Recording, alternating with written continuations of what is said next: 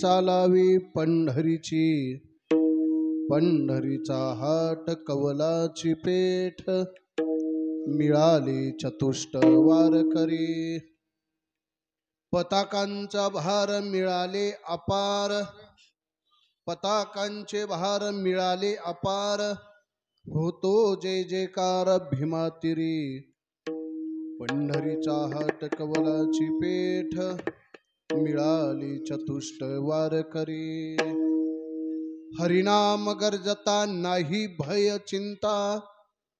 हरिनाम गरजता नाही भय चिंता. ऐशे बोले गीता भागवत. पंढरीचा हट कवलाची पेठ. मिळाले चतुष्ट वारकरी. नटखट यावे शुद्ध होऊन या जावे. नटखट यावे शुद्ध होऊनिया जावे. दौंडी पिटी भावे चोखा मेळा. पंढरीचा हाट कवलाची पेठ. मिळाली चतुष्ट वारकरी. पांडुरंगा करू प्रथम नमन. पांडुरंगा करू प्रथम नमन. पांडुरंगा करू प्रथम नमन. पांडुरंगा करू प्रथम नमन. दुसरे! दुसरे चरण संता किया दुसरे चरण संता किया। पादाने कथेचा विस्तार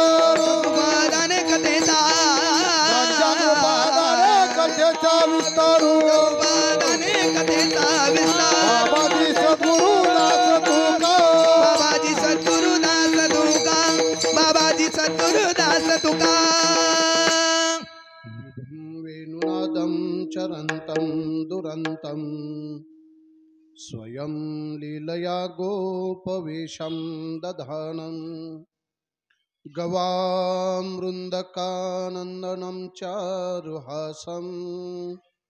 परब्रह्मलिङ्गं भजे पाण्डुरङ्गम्। गिरीशं गणेशं गले नीलवर्णम्। गवेन्द्रादिरूढं गणातीतरूपम्। भवं भास्वरं भस्मनाभूषिताङ्गं। भवानी कलत्रं भजे पञ्चवक्त्रं। या कुन्देन्दुतुषारहारधवला या शुभ्रवस्रारुता या विरावरदण्डमण्डितकरा या श्वेतपद्मासना या ब्रह्माच्युत शंकर प्रभृतिभिर देवये सदा वन्दितां सामां पातु सरस्वतीं भगवती। निशेष जाड्यापहा ॐ नमो ज्ञानेश्वरा। करुणा करा दयाळा तुमचा अनुग्रह लाधलो। पावन झालो चराचरी शरण शरण हनुमंत। तुम्हा आलो रामदूता।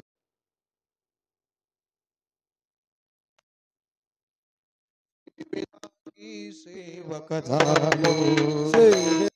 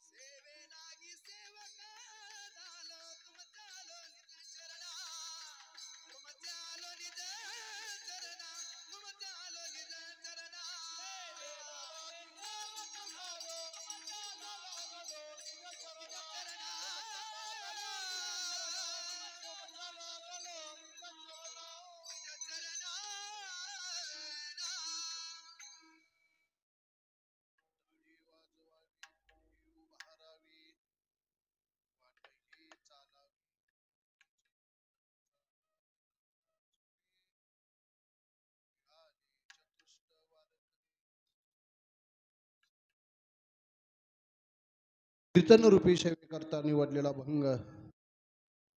पंढरपूर निवासी भगवंताचे लढिवाळ भक्त चोखोबाराय यांचा पाच चरणाचा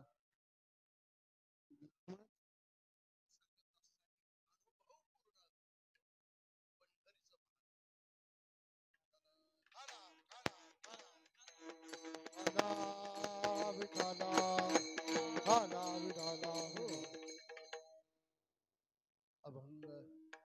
चोखोबारायांचा आहे. परिचयाचा नसला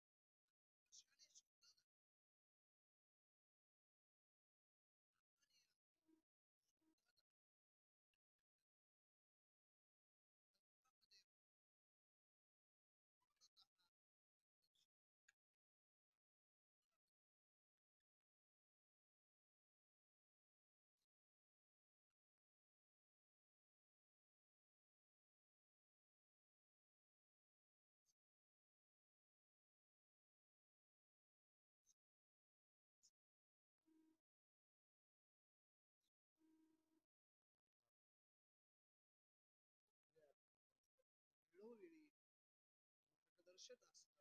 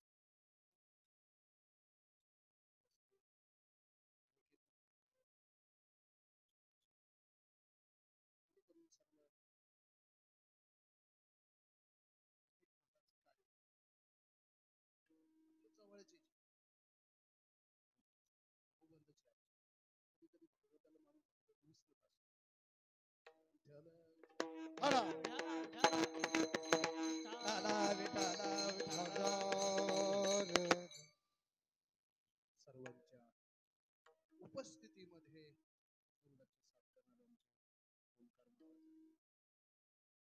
सप्ताह कमिटी असं ग्रामस्थ मंडळी असतात. सप्ताहामध्ये तन मन धनाने सहकार्य करणारे. यावर्षी नुसतं सप्ताहाचं सहकार्य नाही.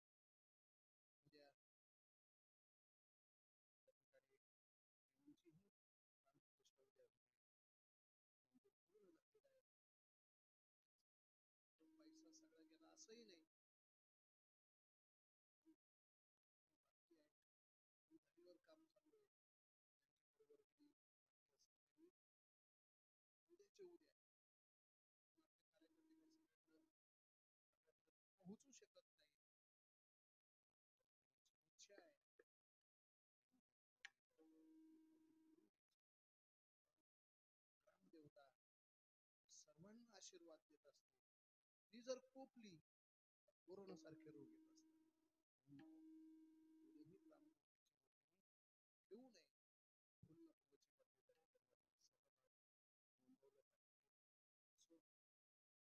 सेवेकरता निवडलेला भंग चोखोबारायांचा आहे.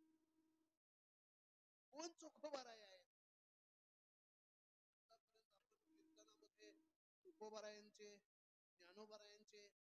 नाथ महाराजांचे अभंग ऐकत आलेलो त्याच संत मालिकेमध्ये चोखोबाराय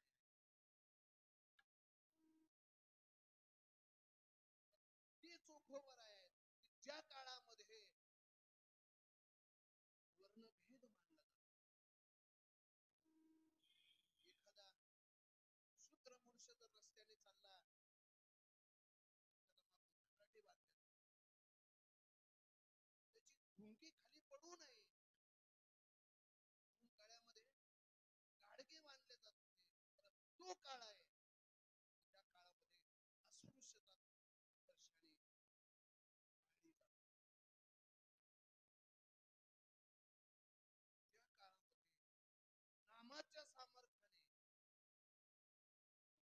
हो,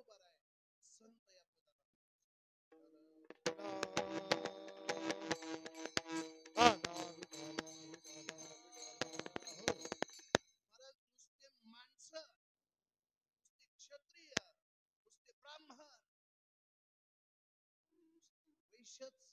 सामर्थ्याने वैकुंठाप्रत गेले असं नाही. महाराज शूद्रही याच्याही पुढे जाऊन सांगितलं नुसते शूद्रच नाही. तर त्या नामाच्या सामर्थ्याने त्यांचं नाव सकाळी घेऊ नये असं शास्त्र सांगतंय प्रभाती घ्यावी. नाव माकडाचे असे असणारे कपी कुळ त्याचाही नामाने उद्धार केलेला. तुकोबरायांचं प्रमाण आहे. कपिकुळा उद्धारिले मुक्त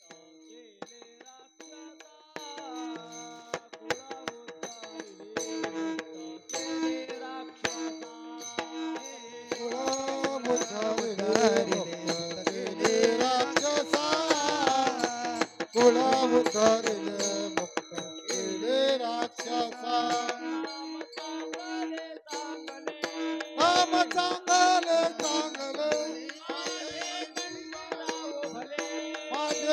माझे कंठी राहो भले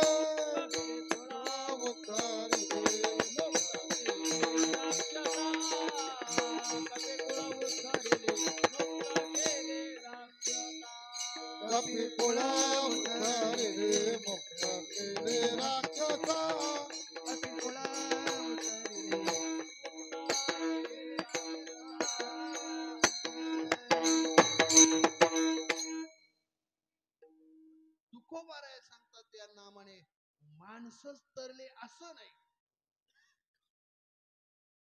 कपिकुळाचा देखील उद्धार या नामाने केलेला आहे.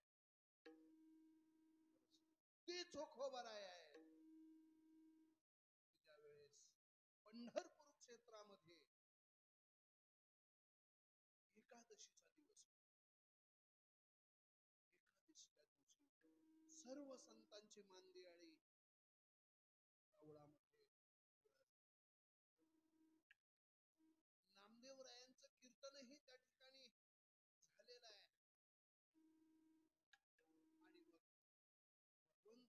भगवंताने चोखोबरायला सांगितलं. चोखोबराय कारण फेडण्याची व्यवस्था तुमच्याकडे आहे. तो काळ आहे. त्याच्या वेळेस अस्पृश्यांचं शूद्रांचं स्पर्श नाही त्यांची सावली पडणं देखील विटाळ मानलं त्या काळामध्ये भगवंत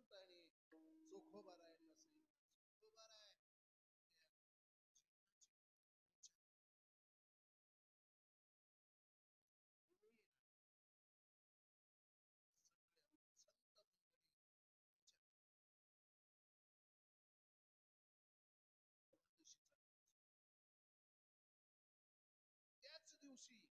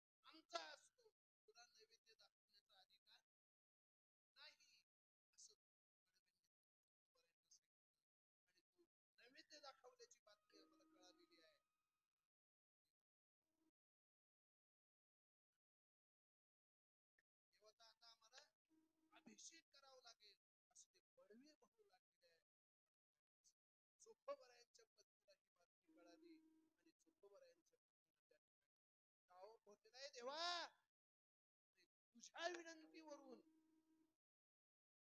आम्ही तुला जेवायला बोलवतो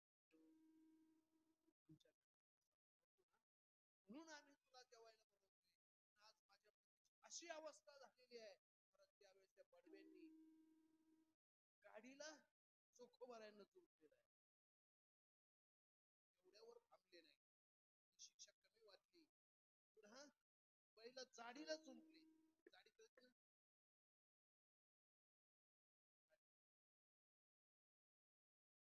साडीला कळते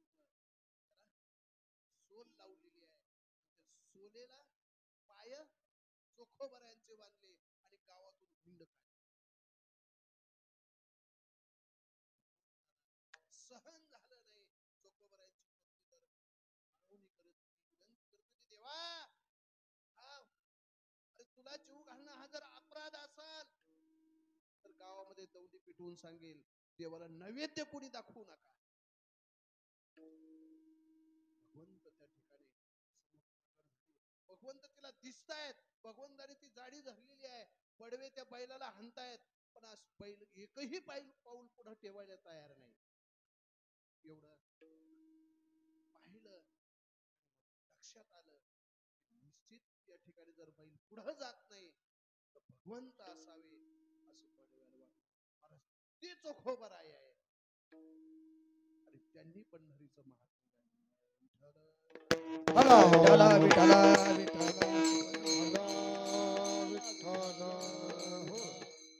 पण असं ज्या वेळेस चमत्कार पाहिला आणि मग बडवे चोखोबरायांकडे आलेले आहे चोखोबरायांकडे आल्यानंतर चोखोबरायांना विचार करू विचारू लागलेले आहेत. महाराज आता इथून पुढे आम्ही तुम्हाला त्रास देणार त्रास देणार नाही. पण मग तुम्हाला आहे ते भगवंताची प्रसन्नता प्राप्त झालेली आहे. आम्ही तर रोज नैवेद्य दाखवतो. रोज आम्ही देवाचा अभिषेक करतोय. तरीही आम्हाला देव अजून भेटलेला नाही. पण मग तुम्हाला कसा भेटला? कसा भेटला? याचं साधन चोखोबारांनी अभंगाच्या प्रथम टाळी वाजवावी. टाळी वाजवावी गुढी उभारावी.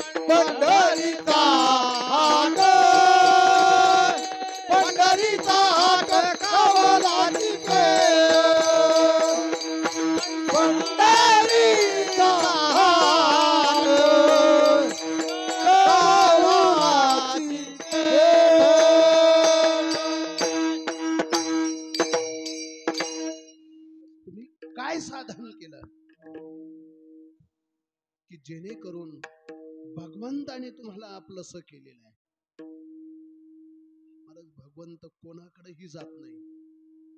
कोणालाही आपलंस करत नाही. यम ब्रह्मा वरुणेंद्र रुद्र मरुतस. सांग दिव्यैस्तवैर्वेदै साङ्गपदक्रमोपनिषदैर् गायन्तियम सामगाहा अरे असे गायन कर केलं तरी.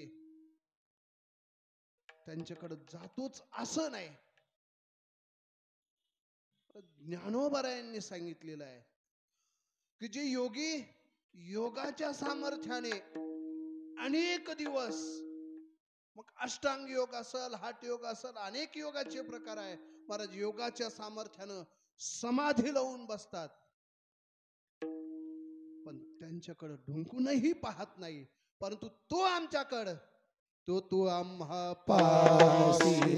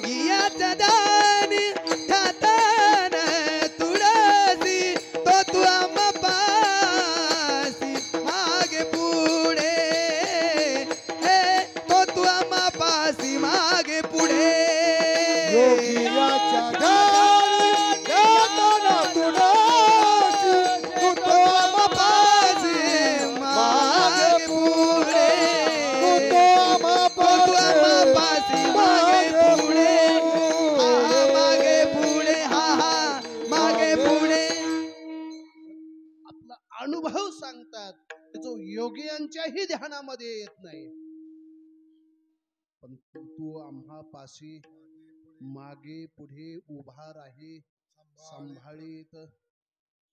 केशामहम समुद्धरता मृत्यू संसार सागरात. भवामी नचरात पार्थ मया वेशित चेतसाम असं असणारा तो भगवान परमात्मा आमचा सांभाळ करतो. त्याच्या ठिकाणी याता यातीचाही तो विचार करत नाही. हा अमुक जातीचा आहे तो तमुक जातीचा आहे. मला तू ती पाहत नाही. हा श्रीमंत आहे हा गरीब आहे हा हे पाहत नाही. हा लहान आहे हा थोर आहे. हेही तो पाहत नाही. अरे तो एकच पाहतो अंतरीची घेतो गोडी. पाये जोडी भावाची हा. पाये जोडी भावाची.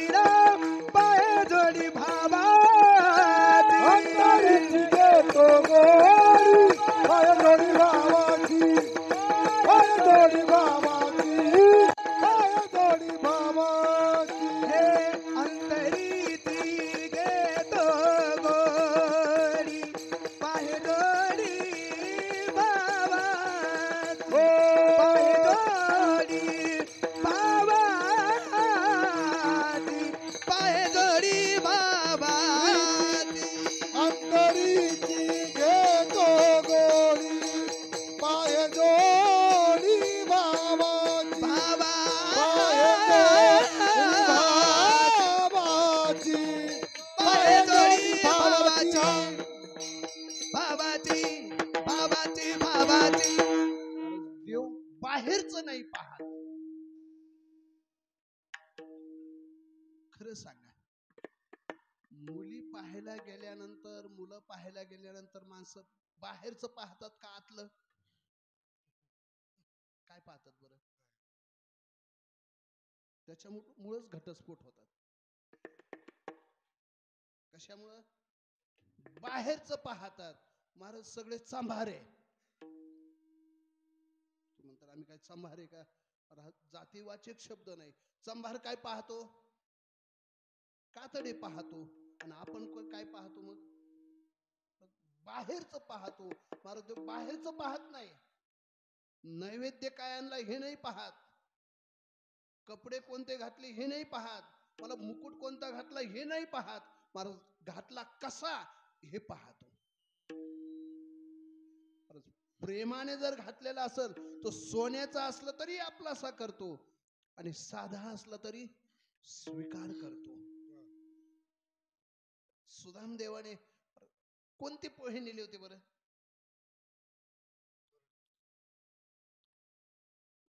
नुसते कोरडे नाही. काही ठिकाणी तर असं वर्णन आलेलं आहे की चालण्यातून गळालेले जे काही खाली तुकडे होते महाराज ते आणलेले पोहे ते भगवंताकडे नेले. भागवतामध्ये सुंदर उदाहरण आलेलं आहे. ज्यावेळेस हस्तिनापुरामध्ये वाटाघाटीचा शेवटचा दूत म्हणून भगवान परमात्मा हस्तिनापूरला आलेले आहे. दुर्योधनाने खूप मोठा उत्सवही ठेवला. कमानी उभारलेले आहे स्वागत कक्ष उभारलेले आहे.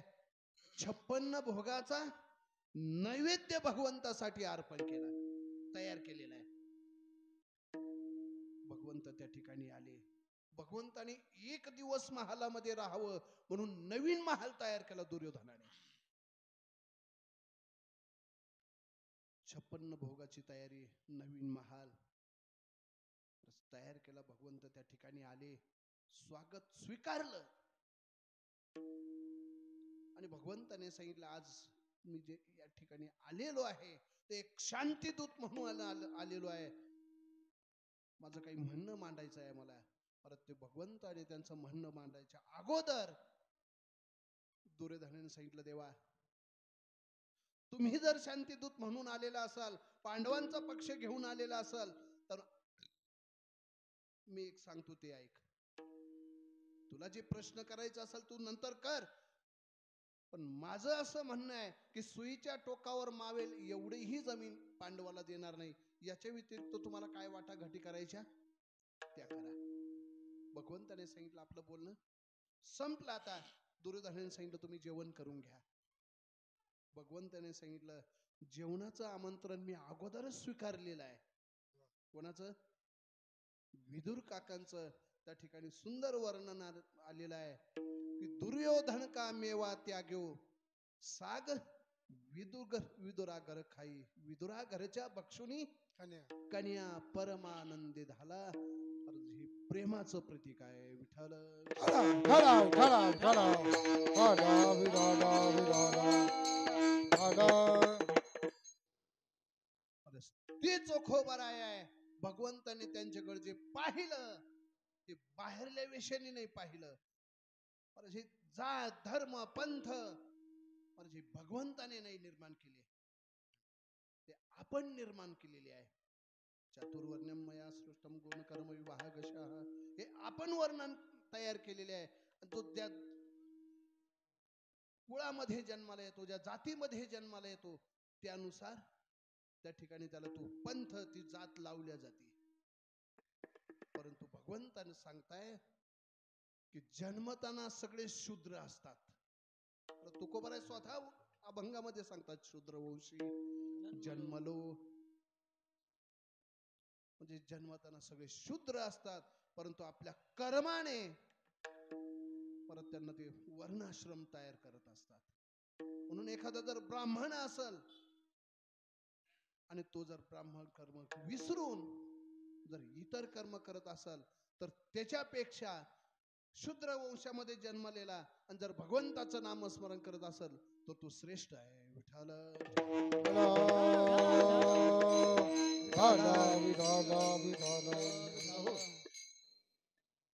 बरंच त्या पंढरपूर क्षेत्रातील लोकांनी चोखोबरायांना विचारलेलं आहे महाराज आज भगवंताने तुम्हाला आपलंस केलेलं आहे. काय केलं त्याच्यासाठी तुम्ही? कशाची साधना केली? कोणतं नामस्मरण केलं?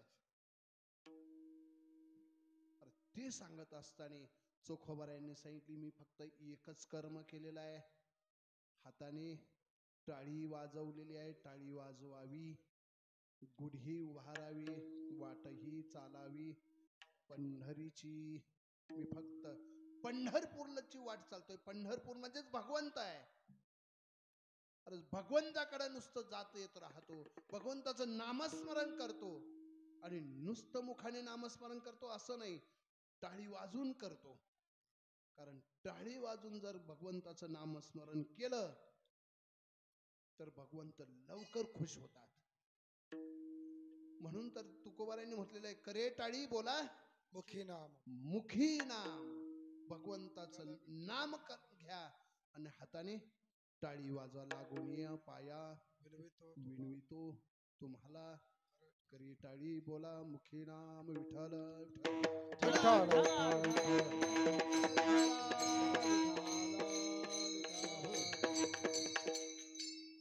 असं जर हाताने टाळी वाजून भगवंताचं नामस्मरण केलं. तर तो नाद एकत्र होतो. टाळा टाळी लोपला नाद भोग भोगिताची आटला भेद. काय, म्हणजे राहिलंय. अंगो अंगी मुराला छंद.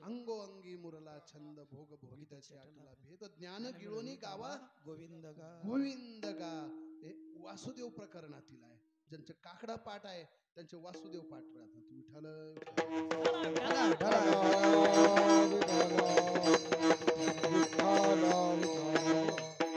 असा टाळो टाळी लोपला नाद घुळ घोळा वाजते वाजते टाळ गुळ गुळा वाजते टाळ घुळ घोडा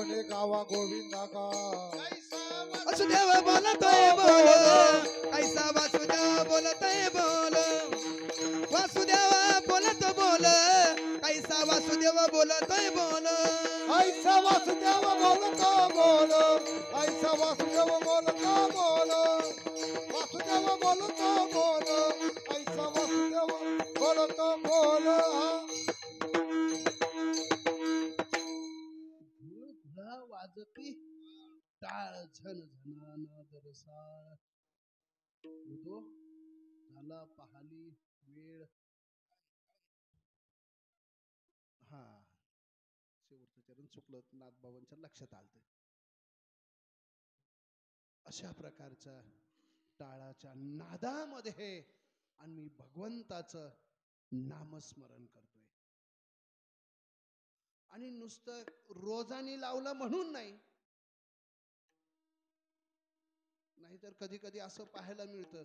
सोहळ्यामध्ये जर दिंड्या निघाल्या पुण्यामध्ये गेल्या भरपूर नाचतात.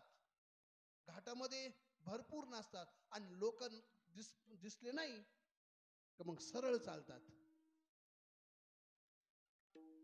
म्हणजे पाहायला कोणी नसतं. पार माग बांधून चालतात टाळ मग. मग टाळकरी एकीकडं दिंडी एकीकडं. असं नाही. प्रेमाने कारण टाळी वाजवावी गुढी उभारावी. गुढी हे आनंदाचं प्रतीक आहे. आनंदाचं द्योतक आहे. आजचा हा आपला जो उत्सव आहे या आनंदाचं द्योतक म्हणून आपण साजरा करतोय. कारण शालिवाहन राजाच्या काळामध्ये ज्यावेळेस शालिवाहन राजाने विजय प्राप्त केला जगज्जेता झाला आणि मग पैठणला आला तो आजच्या दिवशी. म्हणून आजचा दिवस हा शालिवाहन शके म्हणून तेव्हापासून प्रसिद्ध झालेला आहे. आणि आपलं हिंदू कॅलेंडर ते आजच्या दिवसापासून काय होती त्याची? सुरुवात होती. म्हणून हिंदू लोकांनी तरी एकतीस डिसेंबर आणि एक डिसेंबर साजरा नाही करावा. त्यांनी आजचा दिवस साजरा करावा. परंतु आज एक तारीख आहे. हे त्यांनाही माहिती नाही. विठ्ठल विठ्ठल विठ्ठल हो. खेद वाटतो कधी कधी परत सामान्य लोकांना मराठी मायने माहीत नाही यात विशेष नाही.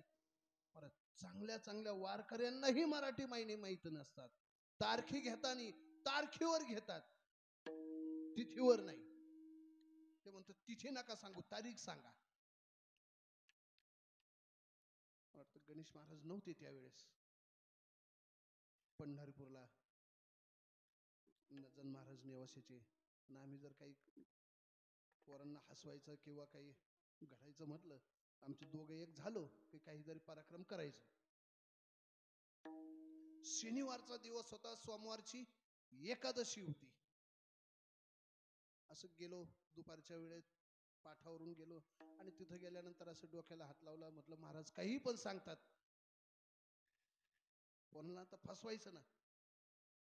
म्हटलं काय झालं? काय झालं? आता मंगळी चतुर्थी आली. कधी?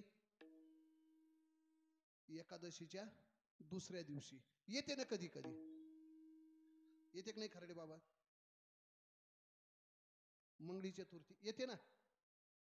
मंगळवारी चतुर्थी नाही येत का? मग काय अडचण आहे? एकादशी झाल्यावर दुसऱ्या दिवशी यायला. परत असे दुसऱ्या दिवशी चतुर्थी येते असं झालं. मग करायचं काय? मग ती धरावी लागते. असं पोरांना सांगितलं. मग जेवायचं काय? जेवायचं नाही. फक्त फळाचा ज्यूस प्यायचा. फळं खायचे किंवा फळाचा ज्यूस प्यायचा. सोडवायची कधी? चंद्रोदय झाल्यानंतर. मग पैसे फळं कुठून आणायचे? वर्गणी करायची. किती करायची? तुम्हाला जशी द्यायची तशी करा.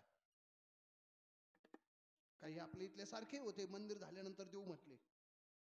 म्हणजे फळं आणल्यानंतर देऊ. परत त्याच्यामध्ये अविनाश महाराज होते. हा पाटीलला तर चांगले मृदुंगाचार्य त्यांचे पैसे होते बाबांकडे. आदल्या दिवशी काही पैसे आले. काही सोमवारच्या दिवशी दुपारी फराळ करायला लागलो. त्याला सांगितलं तुझे पैसे आले तू घेऊन ये. तू बाबांकडे गेला रोज बाबांकडे. आणि बाबा मला दहा रुपये द्या. पण कशाला रे? कालच तू घेतले होते. आता कशाला? देऊन उद्या चतुर्थी आहे ना. फराळ कशाचं करतोय? एकादशीचं. आणि दुसऱ्या दिवशी काय? चतुर्थी. महाराज त्याला खवाळे. अरे तुला कळतं का काय? उद्या चतुर्थी कशी येईल एकादशी दुसऱ्या दिवशी? नाही म्हणे काळे बाबांनी सांगितलं. महाराजांच्या लक्षात आलं यांनी काहीतरी पराक्रम केलाय आता. महाराजांचं फराळ झालं आम्ही फराळ करत होतो तोपर्यंत बाबा तिथं आले. म्हणजे काय चाललंय?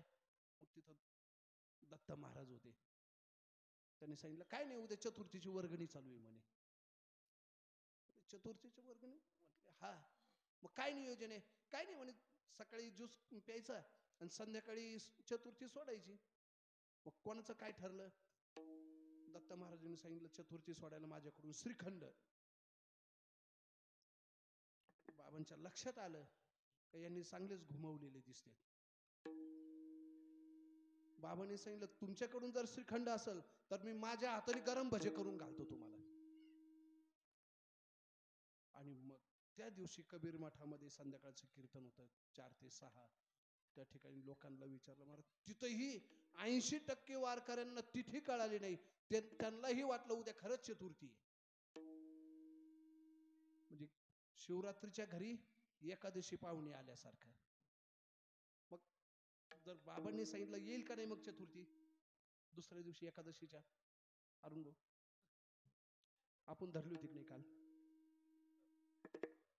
बर जाऊ द्या. काल कोणती तिथी होती बरं? काल कोणती तिथी होती? खराडे मामा? तुमच्या शेजारी सगळं तुम्ही कर्म करता ना. कोणती तिथी होती?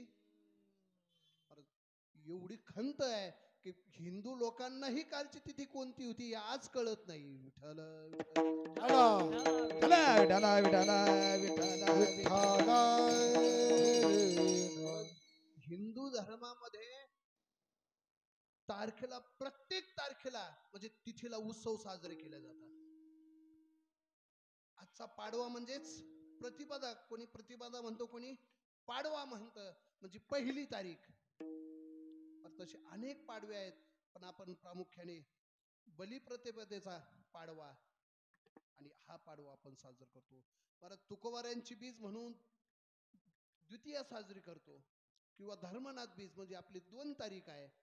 तृतीया चतुर्थी पंचमी प्रत्येक तिथीला आपल्या हिंदू धर्मामध्ये उत्सव आहे. तुम्ही सणाची जर पाहिली व्यवस्था कशी लावलेली आहे? तर भाद्रपद महिन्यापासून खऱ्या अर्थाने आपले उत्सव सुरू होतात. भाद्रपद महिन्यामध्ये देवी बसवतात. बरोबर ना? मग? आश्विनी का? मग भाद्रपद महिन्यामध्ये काय? म्हणजे बैल बसवतात. एवढी खंत आहे. गणपती कोणत्या महिन्यात बसवतात?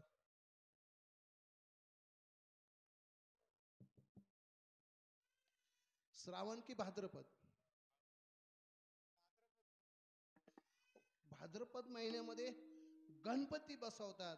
महाराज हिंदू उत्सवाची किंवा कोणत्याही कार्याची सुरुवात गणेश स्थापनेपासून आहे. म्हणून पहिले गणपती आहे. गणपती नंतर शारदा उत्सव मग अश्विन महिन्यामध्ये. नवरात्र उत्सव येतो.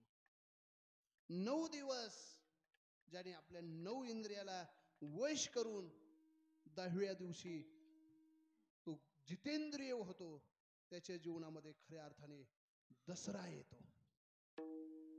आणि दसऱ्यावर जो आरूढ होतो त्याला अमृत प्यायला मिळतं. कधी? कोजागिरी पौर्णिमेला. आणि ते अमृत पिल्यानंतर जर त्याने ती साधना टिकून ठेवली तर मग धनत्रयोदश म्हणजे धनाचा लाभ त्याला होतो. आणि धन प्राप्त झाल्यानंतरही जो त्याला बळी पडत नाही म्हणजे त्याला नरक चतुर्थी नाही.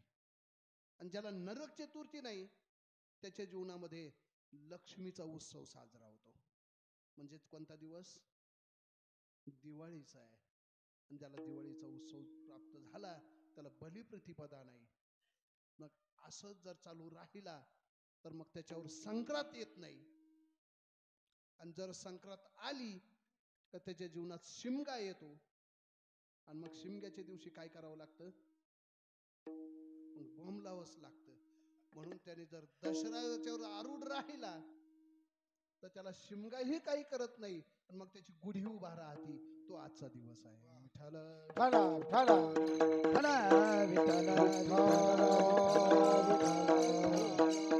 आजचा हा दिवस आनंदाचा द्योतक आहे. कारण आजच्या दिवशी प्रभू रामचंद्र लंकेवर विजय प्राप्त करून अयोध्येमध्ये आजच्या दिवशी हजर झाले. तेव्हाही गुढ्या उभारलेल्या होत्या. भगवंताने गोकुळामध्ये अवतार धारण केला.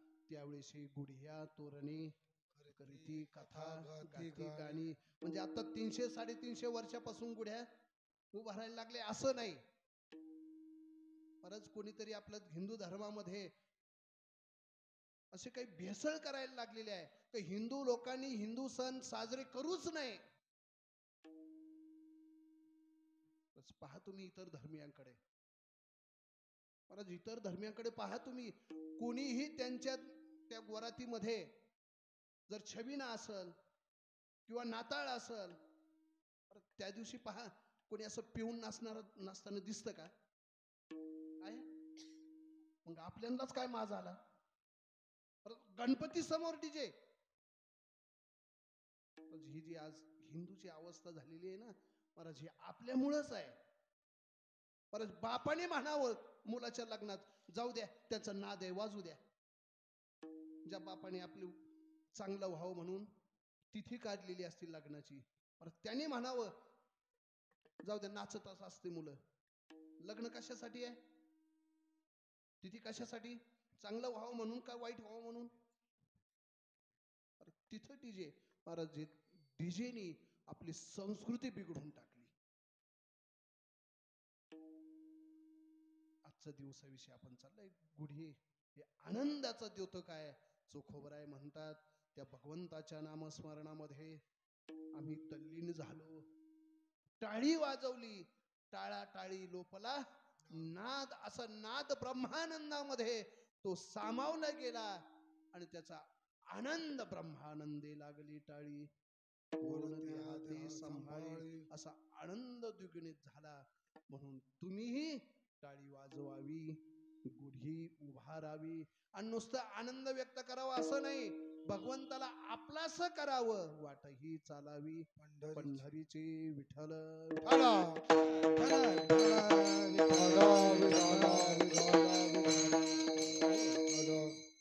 म्हटले चोखोबार आहे.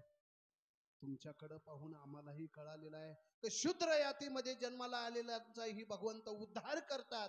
हे आम्हाला तुमच्याकडे पाहून कळालेलं आहे. पण आम्ही जर टाळी वाजवत पंढरपूरला केलो भगवंताला साकडं घातलं भगवंताचं नामस्मरण केलं तर त्याचा आम्हाला फायदा होईल का? सुखोबर म्हणतात का होणार नाही? ते दुसऱ्या चरणामध्ये. पंढरीच्या टेकवलाची पेठ. पंढरीच्या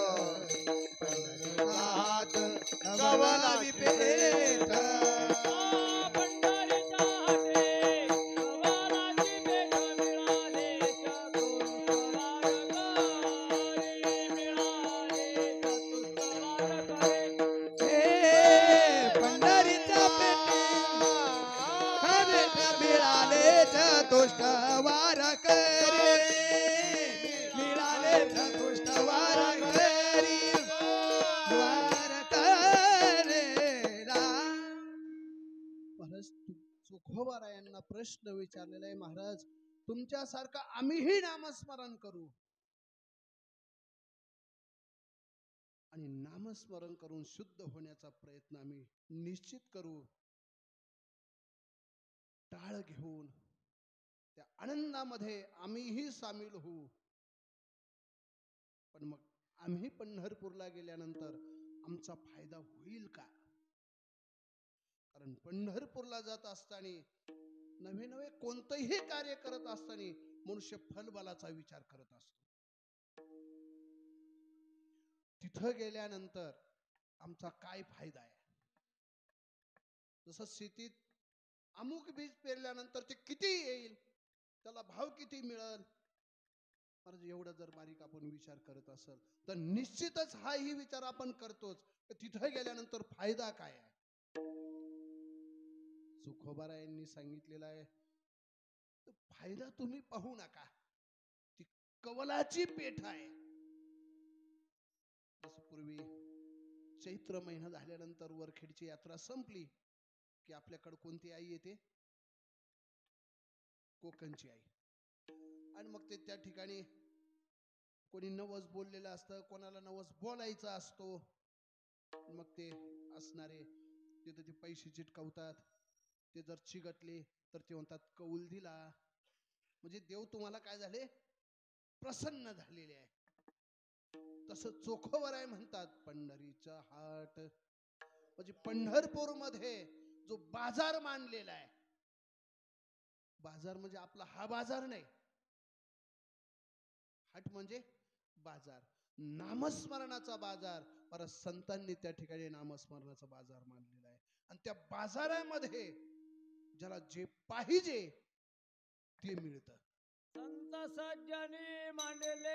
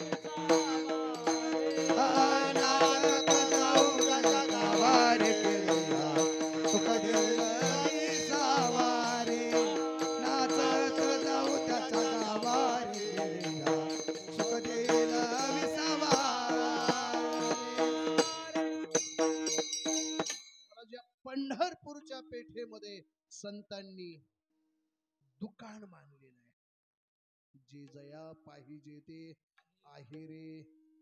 महाराज एक जण गेला. बरं झालं महाराज. दिंडी निघाल्यापासून एकही दुकान लागलं नाही. तंबाखूची पुडीच मिळाली नाही. देता काय मग? म्हटले हे इथं मिळत नाही. मग तुम्ही तर जाहिरात लावली. जे जया पाहिजे ते.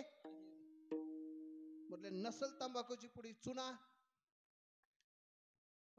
चुना नाही. बिडी?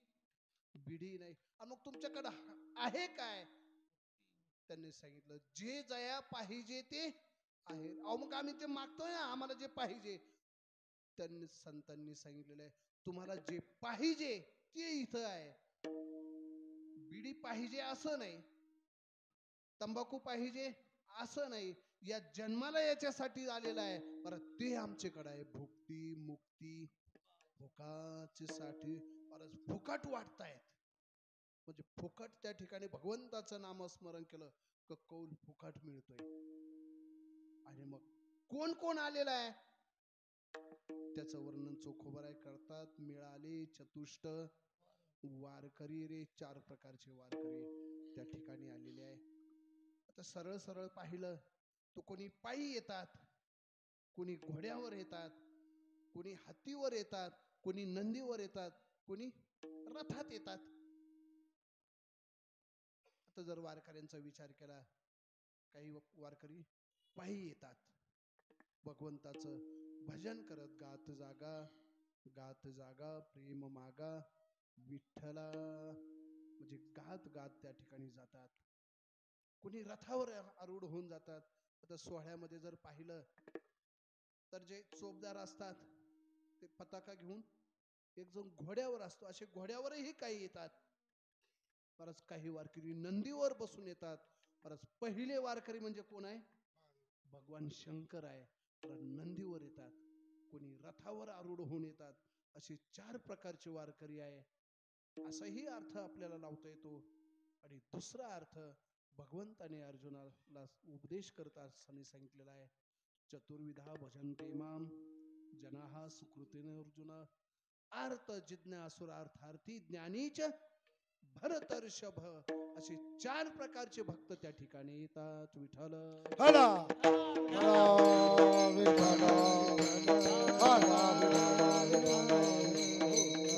चार प्रकारचे कोणते?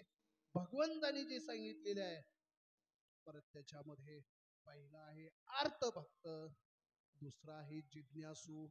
तिसरा आहे अर्थार्थी. आणि चौथा आहे मुक्त. मग आर्त भक्त कोण आहे? तर जो पंढरपूरला येतो. प्रत्यक्षामध्ये भागवतामध्ये उदाहरण आलेलं आहे की जो गजेंद्र नावाचा हत्ती आहे. कधीही भगवंताचं भजन केलेलं नाही. परस कधी केलं नाही यात विशेष नाही. हजारो वर्ष नकराने पाय धरला तरीही भजन केलं नाही. शेवटी आता कुणीच आपल्याला सोडवायला येणार नाही. पुत्र बंधू कांता संपत्तीचे अंतकाळी कोणी नाही बा संगाती असं त्याला कळालं. आणि मग त्यावेळेस भगवंताचा धावा केला. कोण जो असेल वैकुंठाचा नायक त्यांनी यावं अशी आर्त होऊन हाक मारली. असा गजेंद्र आहे. परत द्रौपदीचा जरी विचार केला तिनं ही अर्थ भक्त आहे. संकट समयी भगवंताचा जे धावा करतात ते अर्थ भक्त आहे विठ्ठल. हला विठ्ठला विठ्ठला झाला हला विठ्ठला विठ्ठला हला विठ्ठला विठ्ठला परत असेही काही भक्त पंढरपूरला येतात. परत कधी कधी एखाद्या वारकऱ्याला विचारलं का हो तुम्ही दरवर्षी पंढरपूरला येतात? यावर्षी का नाही आलात? त्याने सांगितलं आमचा नवस फिटला. पोराचं लग्न होत नव्हतं म्हणून नवस केला होता. मी पाच वाऱ्या करीन.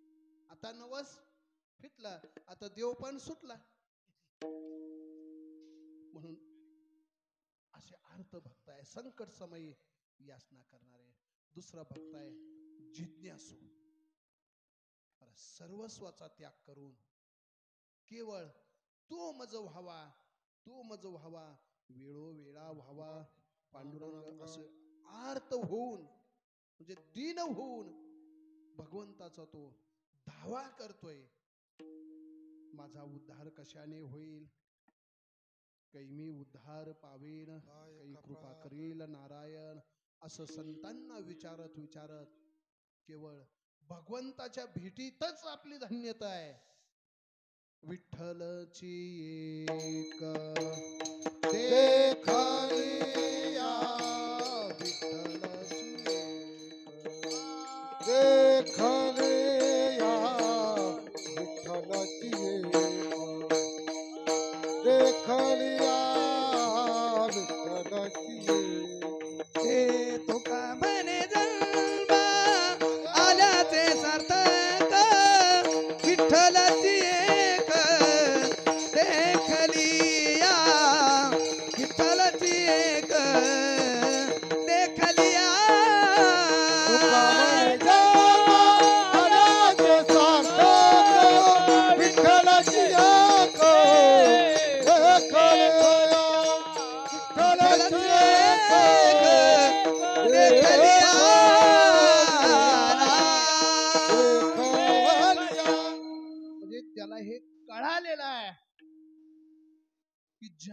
जन्माची सार्थकता कशामध्ये आहे?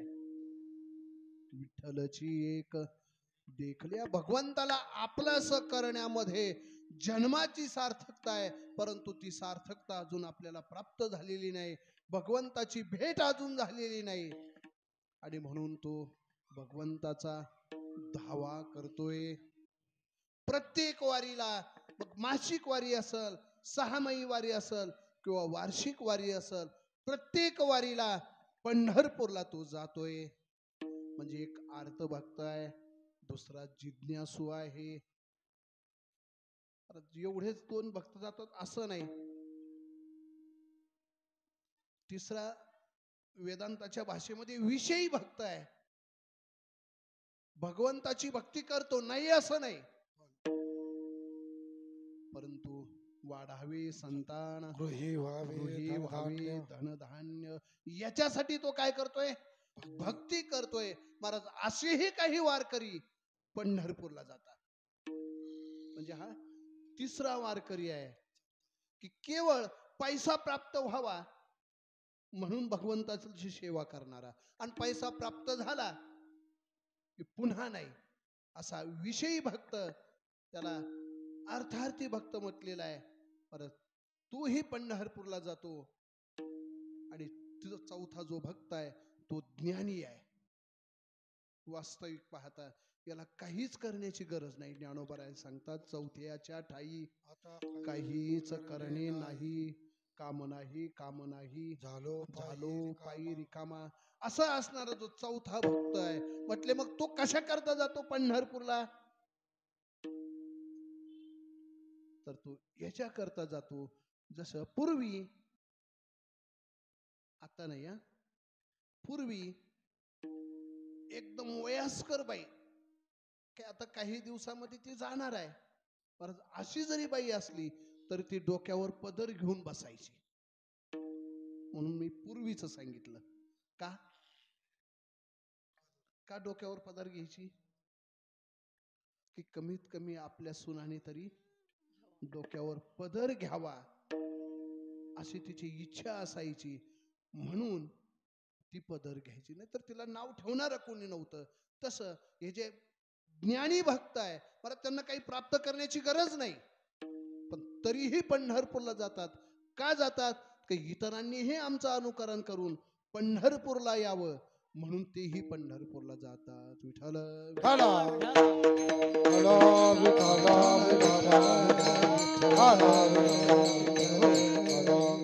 आणि काही फक्त याच्यासाठीही जातात की जे तुकोबराय सारखे आहे गुण काही ना आवडी हिची माझी सर्व त्याच्यासाठीच तुका म्हणे गर्भवासी सुखे घालावे. आम्हाशी. पुन्हा जन्म घेतात. घेईन मी जन्म. याजसाठी देवा तुझी चरण सेवा साधावया. मग असे असणारी ज्ञानी भक्त तीही पंढरपूरला जातात. आणि मग असे सर्व भक्त एकत्र येतात पण मोकळे नाही. हातामध्ये पताका घेऊन त्या ठिकाणी येतात. त्याच्यामध्ये दोन प्रकारचे भक्त आपल्याला पुन्हा पाहता येतील. एक अंतरंग आणि दुसरे बहिरंग भक्त विठ्ठल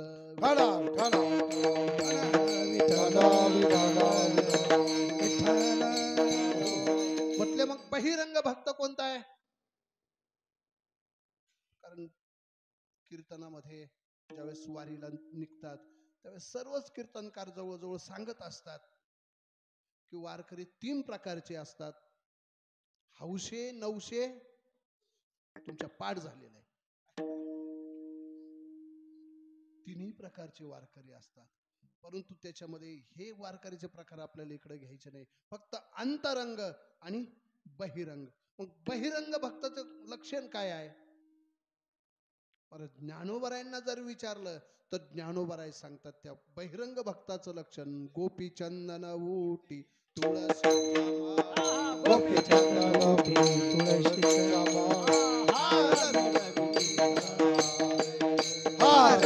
मिरविती गारी.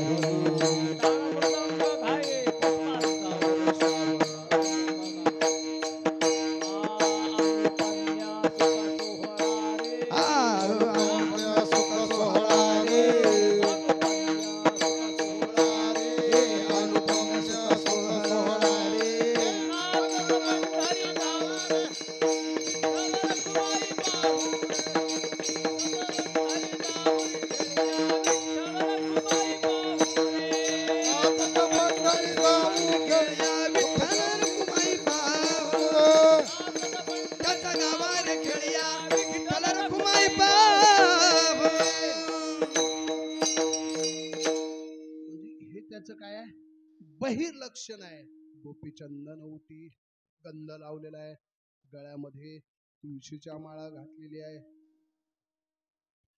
याच्याही पुढे जाऊन अजून काय काय बहिर लक्षण परत ते ज्ञानोबराय सांगतात. कुंचे पताका झळकती. तुमचे पताका झळकती.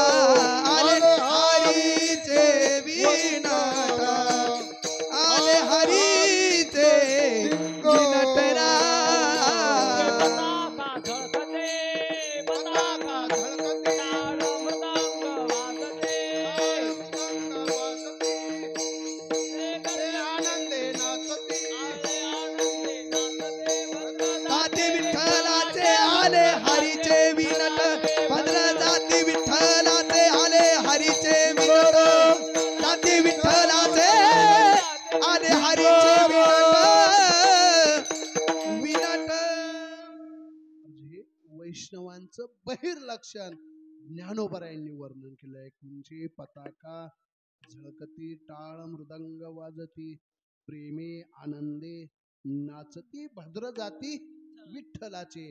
हे बहिर लक्षण आहे. आणि मग आंतरलक्षण काय आहे? तर ज्याच्या अंतकरणामध्ये अखंड भगवंताचं नामस्मरण चालू असतं. अखंड खंडेना जीवन रामकृष्ण नारायण सतत कृष्णमूर्ती सावळी खेळे हृदय कमळे असं ज्याचं वर्णन आहे किंवा ज्याचं लक्षण आहे बरं तो जो वैष्णव आहे तो अंतरंग वैष्णव आहे. की ज्याची अखंड माया देवावर असते बरं तो खरा वैष्णव आहे वैष्णव तो जया. अवघी देवावरी माया. नाही अनेक. प्रमाण तन धन तृण जन असे ज्याचे वृत्ती झालेली आहे तो खरा वैष्णव आहे. मग असे वैष्णव पंढरपूरला आलेले आहेत. पताकांचे बहार मिळाले अपार. असे अनेक वारकरी पताका घेऊन त्या ठिकाणी आलेले आहे पताकांचे बहार मिळाले अपार. आणि मग काय करतात त्या ठिकाणी? होतो जय जयकार भीमा तिरी. हो होतो जय जयकार भीमा तिरी. होतो जय जयकार भीमा तिरी. होतो जय जयकार भीमा तिरी. काचे भार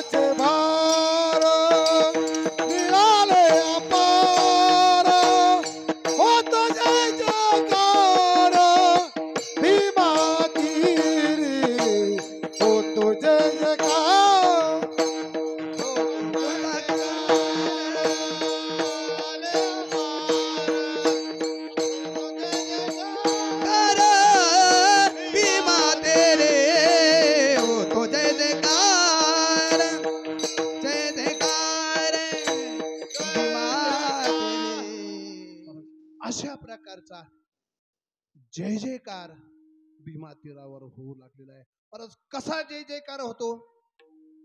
एकदा सर्वांनी भगवंताचं नाम मुखाने गायचंय हाताने टाळी वाजवायची. म्हणजे असा जय जयकार होतो. विठोबा रखुमाई. रखुमाई. रखुमाई रखुमाई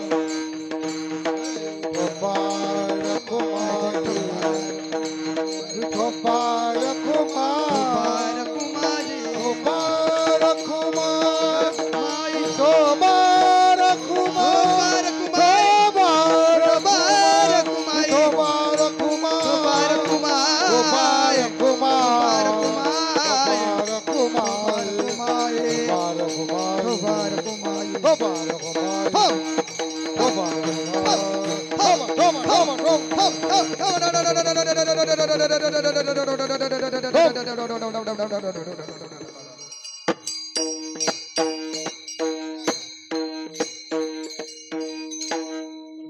प्रकारचा जय जयकार त्या ठिकाणी भीमा तीरावर पंढरपूरमध्ये जम्बूद्वीपामध्ये असणार हे पंढरपूर गाव त्या ठिकाणी असा जय जयकार होतो. पण मग एखादा विचारेल का हो चोखोबार आहे तुम्ही जय जयकार करता भगवंताचं नामस्मरण करता. त्या नामस्मरणाची काही भीती नाही वाटत का? हरिनाम जाता नाही भय चिंता. हरिनाम जाता नाही भय चिंता.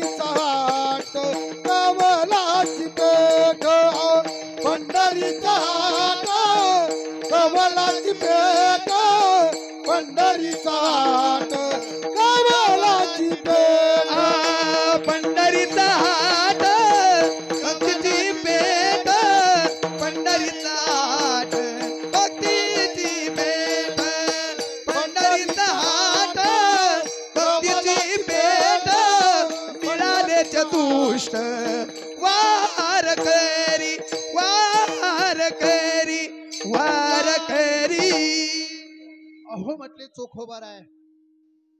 भगवंताचं नामस्मरण करत असताना काही भीती चिंता चुखोबर आहे सांगतात. चिंताही नाही आणि भीताही नाही. म्हटलं तुम्ही नुसतं सांगतात का पाहून सांगता?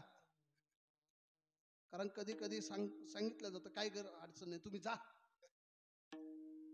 पोहायचं असेल तर मी आहे ना तू मार उडी. अरे याला पोहता येत नसतं. चोखोबारायांना विचारलं का हो चोखोबार आहे चोखोबाराय सांगतात मी माझ्या मनाने सांगत नाही. ऐशे बोले गीता भागवत गीतेमध्येही भगवंताचं नामस्मरण सांगितलेलं आहे. अन्यन्य चिंतयन तो माम हे जना परिउपासते किंवा अंतकालेच च स्मरण उक्त्वा कलेवरम. म्हणजेच अंतकाळी म्हणजे या देहाला आल्यानंतर माझं नामस्मरण करा. नामस्मरणाचा फायदाही भागवतामध्ये सांगितलेला आहे. आज्या मेळ्यासारखे उद्धरून गेलेले पुरावे भागवतामध्ये आहे. आता आपल्याला ते पाहायला वेळ नाही कारण वेळ होऊन गेलेली आहे. म्हणून याची पुरावे म्हणजेच गीता आणि भागवत आहे. म्हटले ठीक आहे. आम्हीही भग भगवंताचं नामस्मरण करू गर्जना करू पताका घेऊन पंढरपूरला जाऊ. अहो पण म्हटले आमची याती आम्ही नाही ब्राह्मण नाही आम्ही वारकरी नाही आम्ही माळाही घातलेले नाही. चोखोबराय सांगतात माझ्याकडे पहा ना. तुम्ही माझ्याकडे पहा कसा जरी असला तर तो पंढरपूरला जाऊन काय होतो? मुक्त होतो शेवटच्या चरणात. काटनाट यावे शुद्ध होनी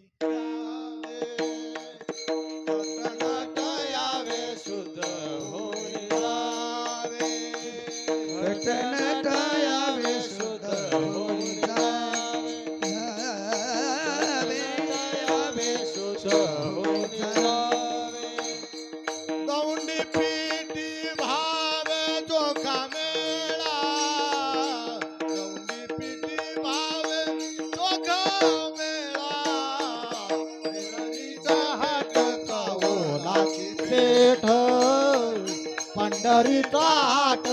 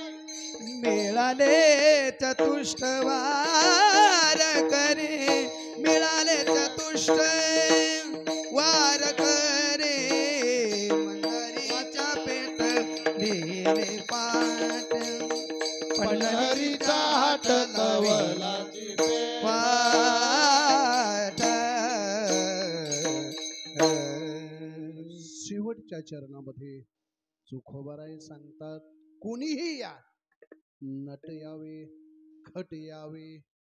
जे कोणत्याही जातीचा असो कोणत्याही धर्माचा असो कोणत्याही पंथाचा असो कोणी जरी आला तरी शुद्ध होऊन या जावे हे मी माझ्या अनुभवाने सांगतोय. असं चोखोबऱ्या त्या ठिकाणी चौकात उभा राहून दौंडी देतात. पंढरीचा हाट कवलाची पेठ मिळाले चतुष्ट वारकरी. असो. यथामथी यथा अवकाशा भंगावर चिंतन करण्याचा प्रयत्न केलेला आहे. अभंग जसा तुम्हाला नवीन होता तसा मलाही नवीनच होता. परंतु भगवंताच्या कृपेने गुरुवर्य बाबांच्या आशीर्वादाने तुमच्यासमोर चिंतन मांडण्याचा प्रयत्न केलेला आहे. अर्थ एवढाच आहे असा माझा दंडक नाही. परंतु जेवढ्या आपल्या अल्प वेळेमध्ये मांडण्याचा प्रयत्न केलेला आहे योग्य आहे ते गुरुवर्य बाबांच्या कृपेचा प्रसाद आहे. निश्चित आपणही त्या हाटाला जा आणि मुक्त व्हा. पंढरीशी गेला तो पुन्हा जन्मा नाही आला ज्याला मुक्त व्हायचंय त्याने पंढरपूरची वारी करावी म्हणजे भगवंताचं नामस्मरण करावं असे थोडक्यामध्ये आपण भाव पाहिलेला आहे. उद्याच्या कार्यक्रमाविषयी माहिती तर देतीलच. पण पुनश्च एकदा सर्व महाराज मंडळी गायक वादक या ठिकाणी उपस्थित सर्व माता भगिनी या बालवृद्धांच्या चरणी साष्टांग असा प्रणिपात करतो. आणि माझ्या शेवले ठिकाणी पूर्ण विराम देतो. पुरते अधिकते सरते. करून घ्यावे. तुमते विनतशी पायाच्या प्रसादी काही बोलिलो विनोदे. मद क्षमा करणे संती अंगभूत युक्ती.